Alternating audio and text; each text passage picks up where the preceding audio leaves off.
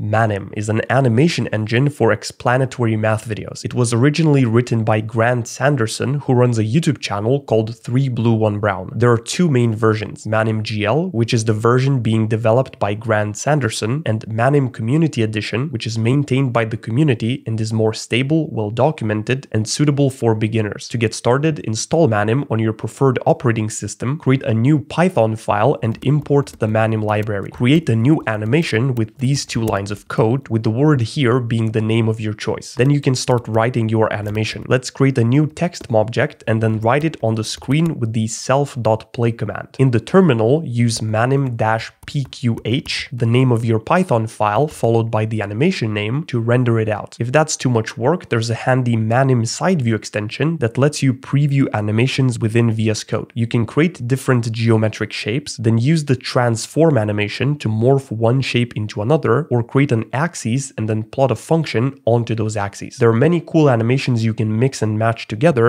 and if you have no clue how to code but still want to learn how to use Manim, I made an in-depth Manim course for beginners where you'll learn how to install it, create your first animations, and get to a point where you'll be able to start creating them on your own, whether it's to make your YouTube video stand out or to drop your coworkers' jaws when they see your next presentation at work. Click the link in the description to sign up now, and I'll see you in the next one.